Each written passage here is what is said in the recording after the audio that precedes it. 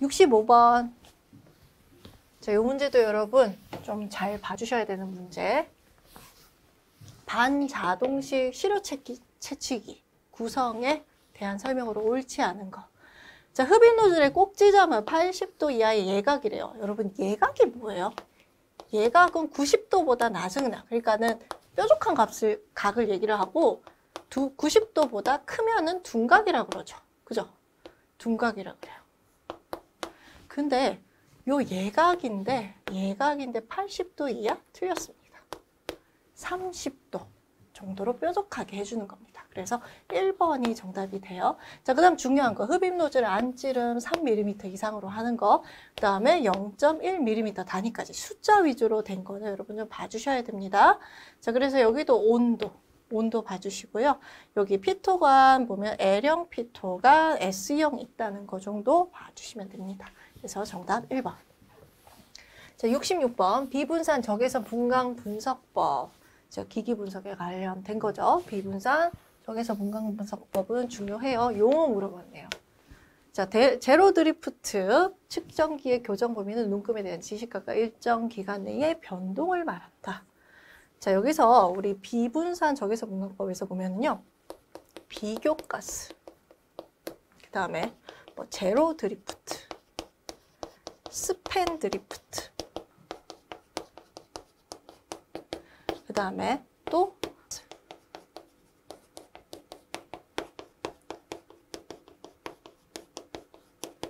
비교가스. 그 다음에 비교셀, 시료셀 이런 용어가 나오게 되죠. 그래서 그거는 여러분 대조가 되는 거기 때문에 문제 내기가 굉장히 좋아요. 그래서 요거는 좀 기억을 해주셔야 됩니다. 자 보겠습니다. 일단 가스가 세개가 나와요. 뭐 비교가스, 스팸가스, 그 다음에 제로가스 세개가 나오는데요. 그거 한번 보도록 할게요. 그거 한번 정리를 해봅시다.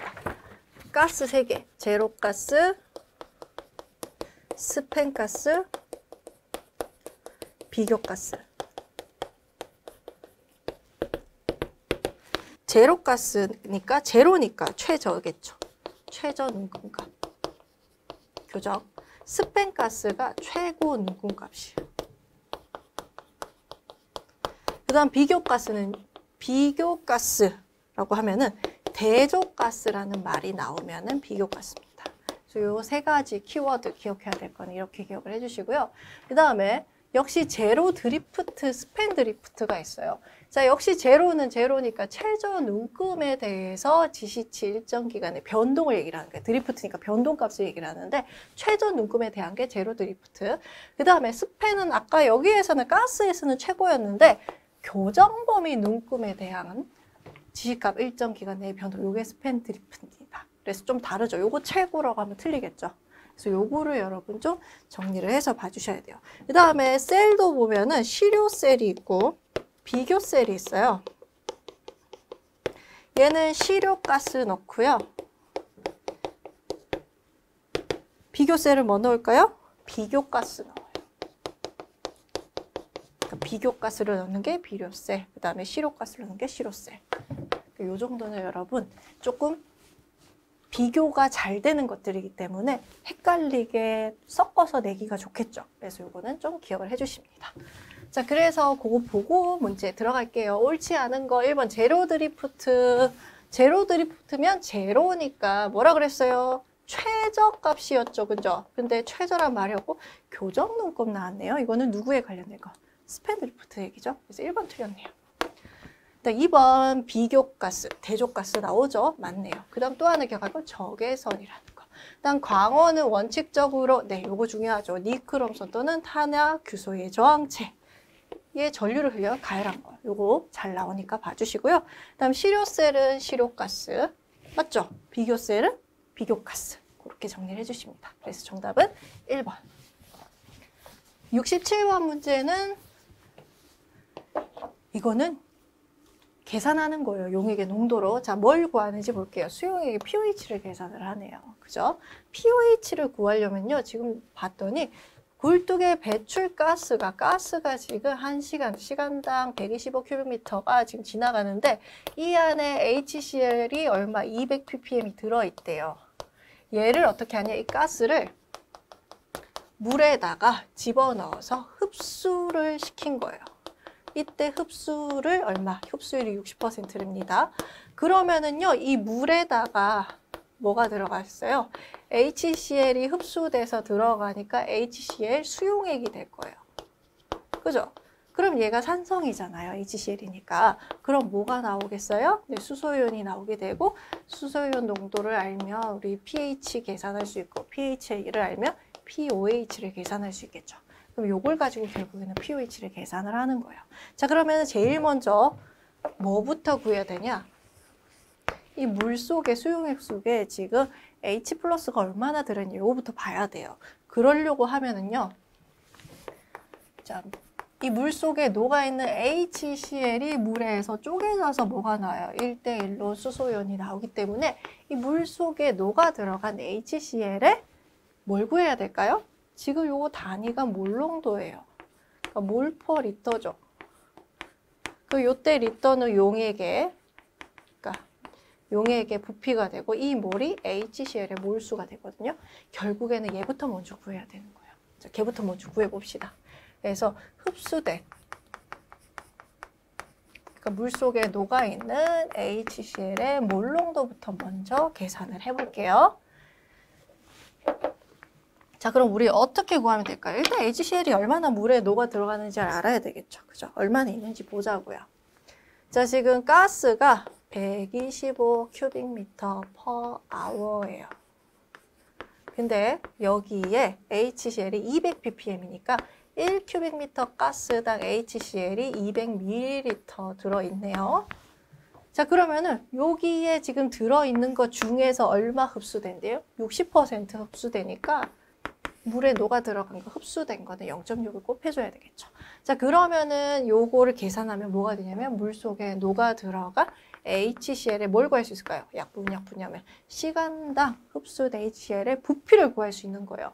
근데 몇 시간 흡수됐대요? 2시간 흡수됐대요. 그죠? 2시간. 그럼 여기 2시간을 곱하면 요것도 약분 되겠네요.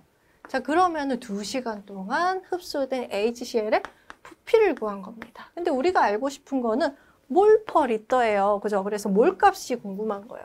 그럼 어떻게 하냐? 미리리터를 몰로 바꿔줘야 되겠죠. 자, 그러면은 볼게요.